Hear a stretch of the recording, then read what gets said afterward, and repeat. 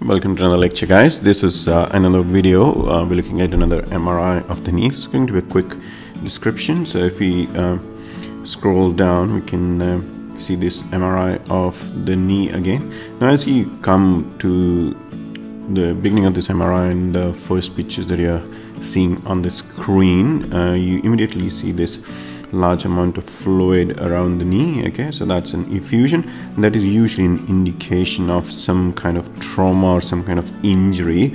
So this um, is one of the patients who came to the emergency department after injury to the knee while playing. And as you can see the first thing that you note here is this anterolateral edema of the lateral femoral condyle and you can see a lot of effusion in the knee joint okay? So this is the femur bone as we know. This is the tibia bone and this is your knee joint and you can see this whitish area here. This is the bone impaction injury or bone bruise or bony edema that you first see. Then you come down to the knee you can see this meniscus here the cartilage and ACL coming into view and uh, then you, you can see the medial side here um, you can see a little bit of uh, edema on the medial side as well. And if you keep scrolling through uh, these images you come to the back of the knee now and then you can start seeing this posterior cruciate ligament. The fibula can be seen here but no real major changes. You can see slight impaction edema there as well. So um, that's uh, your T2 sagittal weighted images and then you're coming to the muscles at the back of the knee. Okay. Now um, keeping with the coronals first we are going to look at uh, the uh, coronals of uh, T1 so this is more for the bone. Um, so you can see the femur and the tibia here and then the cartilage and the inside of the knee okay? So as you scroll down coming to the middle of the knee okay? And then as you go down to the back okay? Now then we start with the sagittals or the side um, images of the knee. Again you can see a lot of effusion there okay? This is all fluid in there. This is all the effusion in there. You can see a little bit of a bony edema on the back part of the tibia there.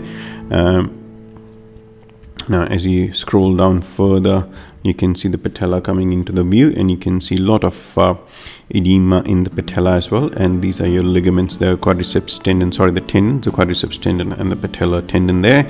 Um, as you scroll down you can see a lot more edema on the femoral condyle on the anterior lateral aspect. So we are entering the lateral compartment as you can see from the fibula there and you can see a lot of edema on the fibula and on the anterior lateral part of the femur. Okay? Um, the last one that we want to see are your axial views okay? So this is a cross-sectional view. You can see the patella or the kneecap of the top with the cartilage there and this is the top of the fem femur bone or the femoral trochlea. And as you scroll down you can see a lot of effusion there. This all whitish stuff here is effusion okay? Now um, in these kind of cases uh, this is the uh, important views of T2 uh, uh, views and uh, these are the axial views. Now if you scroll down um, the thing that I wanted to show you about this is so look at this. That's your patella and there's a patellar cartilage. Um, that's your lateral side so you know the lateral femoral condyle is higher than the medial femoral condyle so the patella is sitting a little bit lateral it's tilted a little bit lateral as you can see. Um, but if you look here so there's a lot of edema there and you can see a little bit of cartilage is coming off the bone. So it's kind of an impaction fracture of the medial condyle and this structure here is your MPFL and you can see it's ruptured from its patellar attachment if you go down further you can also see a tiny loose body lying in the fluid there. And you scroll down further you can see a lot of uh, medial patellofemoral ligament fibers are ruptured. So I'll go scroll and see again. So you can see that the medial patellofemoral ligament is ruptured from the patella.